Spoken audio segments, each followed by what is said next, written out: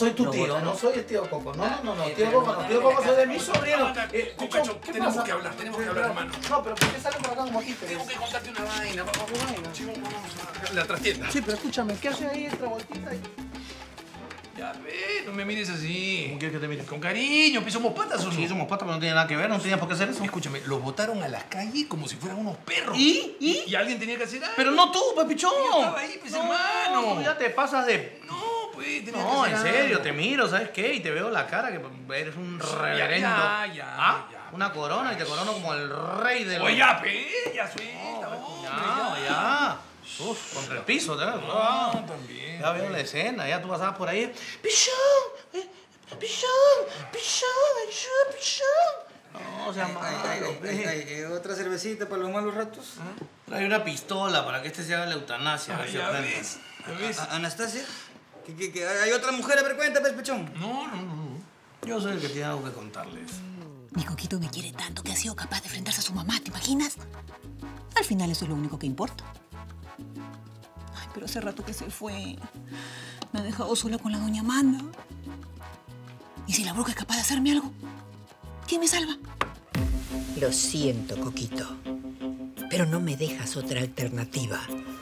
Te voy a dar donde más te duele, hijito. ¿Te casaste a escondidas? Bueno, la verdad... ¿Te casaste a escondidas, Coquito? ¿Y por qué no avisas, pe?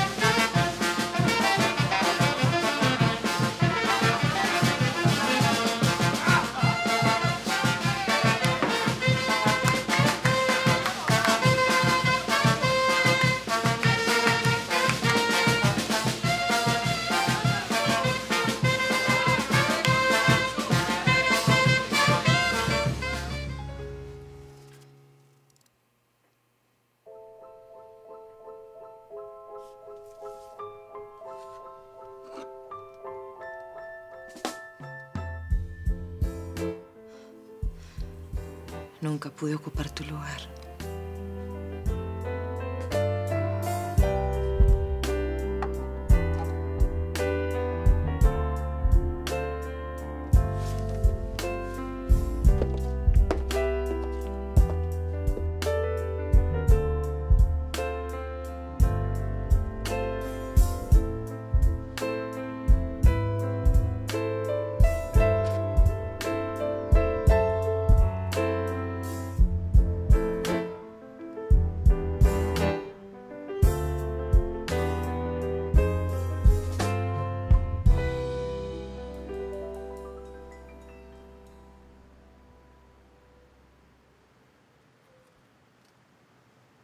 Espera, espera. Te dejaste algo en mi casa. Te lo regalo. No es que a mí me parece una chorrata. Bueno, pues bótalo a la basura. Pues sí, eso es lo que es. Purito desecho.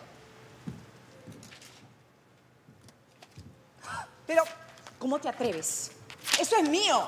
No, ¿ya me lo regalaste? ¿Qué estás haciendo? No. Pero, Tú me lo regalaste y la verdad que es bastante feo. ¿qué te pasa? No es feo, no es feo, es lo siguiente. ¿Pero quién te has creído? mira, mira esto que se por Dios. Ay, no, qué Un chorrada. respeto por mis cosas. ¿Qué te pasa? No voy a poner esto, mejor me pongo herraduras. Pero mira, qué fuerte, qué fuerte, qué fuerte. A ver. Ay. Oh, mira, a ver, este modelito podría ser, pero no, mira. Este para un caballo. Ay, qué divertido. Puedo creer, qué falta de respeto. Calma, por favor.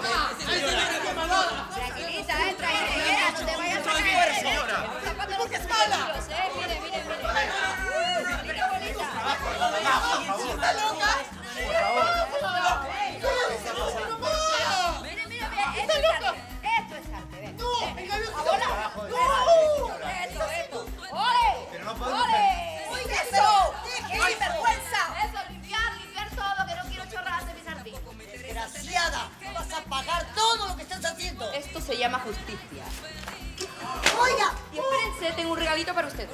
Eh, señor. Ahí lo tienen, para que decoren el antro donde van a vivir. Es tu padre. Padre, padre es el que cría y este señor no se quiso enterar de mí.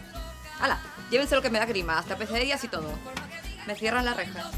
No me interesa, no me importa, déjeme vivir así. Loca. Chicas, eviten un derramamiento de sangre y aléjense de ese par. ¿Qué par?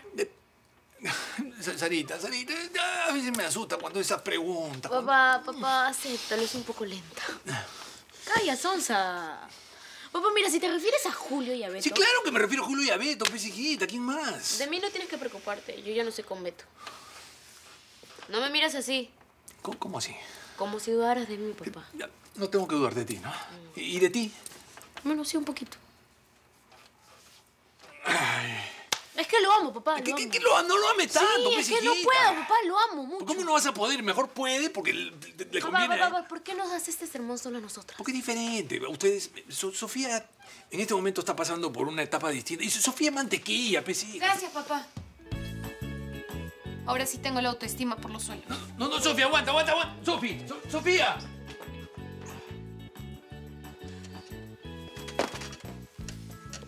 Estela, ¿de verdad no te vas a acercar a Beto? Estela, bravo, habla de una vez.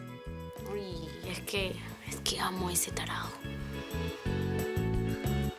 Mi amor, estaba pensando en otra cosa y se me salió la palabra mantequilla. Papá, te escuché perfectamente. Me dijiste mantequilla. De todos los insultos pudiste utilizar cualquiera, pero mantequilla, papá. Mi amor, perdóname. No, no escogí bien la palabra. Fracasé en el amor, papá, sí, pero eso no me convierte en mantequilla.